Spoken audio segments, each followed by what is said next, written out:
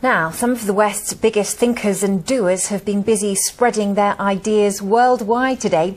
They've been taking part in something called a TEDx conference, which is a series of presentations broadcast live across the globe over the internet.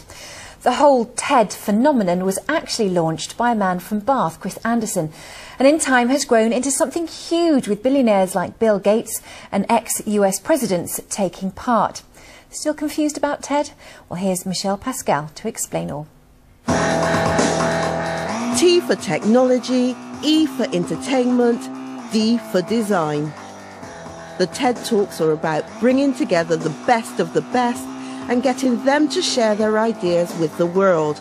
And it's grown. Now community groups and individuals can host their own TEDx events, and it's happening in over 100 countries around the world. Uh, I think it's putting Bristol on the global map. This is the first TEDx in Bristol, in fact, the whole of the southwest. We've been streaming live to the world today, sharing ideas from Bristol with the world and ideas from the world with Bristol. Streamed live across the internet, TED.com gets a million hits a month with people keeping up to date with what's new. Hello! I'm now being filmed on a 360 degree BubbleScope. This is an accessory that fits onto your smartphone.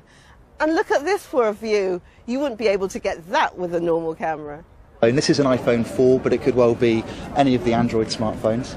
And it lines up with the camera that you've already got on the phone, and it turns the camera's field of view into a full 360 degree field of view, so you can see everything in an instant. And you can shoot still images and video in a click.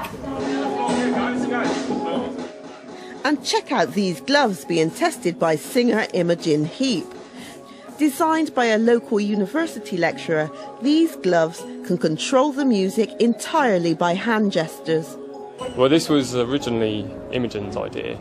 Uh, she wanted to perform uh, without having to engage with her equipment a lot. She wanted to go out there with just uh, on her own without any electronic equipment and be able to do everything that she normally does by pushing, pushing buttons using gestures. New ideas to captivate audiences live across the world. Michelle Pascal, BBC, Points West, Bristol.